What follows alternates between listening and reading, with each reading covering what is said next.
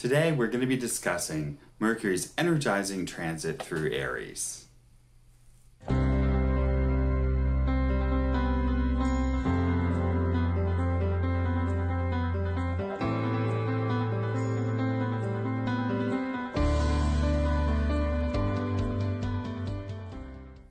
I'm Ramdas Bill Sinclair, and I invite you to subscribe to this channel. I am also available for individual consultations. Uh, you can find the link in my web for my website in the comments below. So today we're discussing Mercury. Mercury will be in Aries from the 24th of April until the 9th of May. This is a fast transit of about two weeks rather than his usual four weeks per sign. The speed of the planet indicates that Mercury will be bringing a lot of energy to Aries. Mercury is the most youthful of all the planets. He's an adolescent and has his ups and downs depending on which other planets are in the sign with him. His adolescent quality will be accentuated in Aries, which is the sign of new beginnings and endless possibilities. Mercury brings youthful exuberance to Aries, where he can see all the possible outcomes of any situation. This is not a combination that gives final results, but rather it gives curiosity, vision, intelligence, and creativity to solve issues in your life and in our world.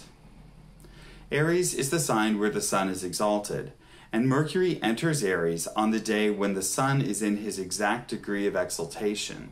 This synchronicity emphasizes the strength of, of this particular Mercury transit through Aries. Aries, Mercury, and the Sun are all related to health issues. Aries indicates healing and purification, Mercury represents our ability to maintain balance in our body, and the Sun indicates our vitality and our ability to fight off disease.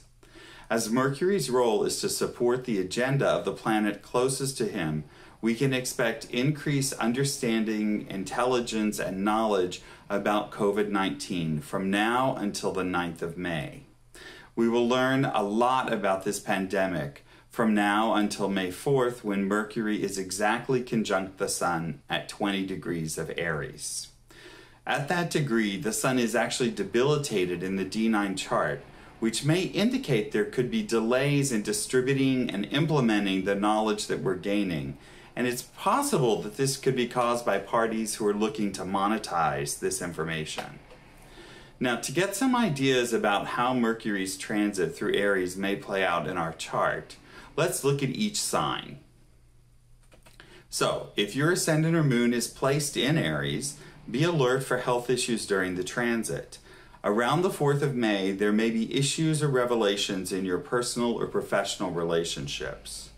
For ascendant or moon in Taurus, you may have vivid dreams which provide insight into long standing issues creativity is going to be enhanced and you may also feel and you may also face unexpected expenses. So put some money aside for the savings. For ascendants and moons in gemini your natural skill in communication will be enhanced during this transit especially when dealing with authority figures. Be selective with your words and you may receive long overdue rewards. Your natural curiosity will bring some new adventures for Cancer ascendants or moons, you may feel restless and unsettled in your career, and even concerned about how you're seen by others. Take note of these observations if they arise, and use your natural intuition to determine if this is a good time to make changes or just decide to write it out. For Leo ascendant or moon, you may experience unexpected good fortune from father figures or mentors. Remember to share that good fortune with others who need it so that you can continue to keep the positive energy flowing forward. Virgo ascendants or moons may experience situations that bring about transformation and change related to long standing obstacles. Use your natural strength of intellect, analysis, and organization to guide you through this process. Libra ascendant or moons have the opportunity to understand close relationships on a whole new level. This information may be a little unsettling for your partners, so only share your insights in a way that will benefit them. Your natural diplomatic skills will be an important guide in this process. Scorpio ascendant or moon may feel restless and unsettled. Careless words can lead to misunderstandings. You may win the battle, but you can end up losing the war. Be sure that you connect to your innate compassion for others to practice acceptance rather than resorting to sharp words.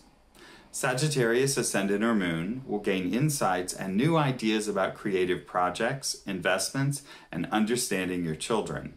Remember to also take time to relax and have some fun. Capricorn Ascendant or Moon will feel restless staying at home. Be sure that you follow public health guidance, but try to get out of the house every day. Change up your daily routine. Start a new book or reconnect to your hobbies to dissipate the mercurial energy. Aquarius ascendant or moons can connect to siblings and friends for support and entertainment. Use teleconferencing to maintain connection with your support system. Aquarians have a tendency to isolate, and this can lead to depression. For Pisces ascendant or moons, you can use this time to strengthen communication with your family members. This can also be a time to resolve any misunderstandings so that everyone can move forward feeling at ease. Thank you for watching. I hope you find this information helpful. Feel free to leave comments or questions. And don't forget to like and subscribe. Stay home and stay healthy. If you're really feeling down, please reach out to someone in your community. There are many free crisis and support lines that are available to listen. Remember, we're all in this together. Namaste.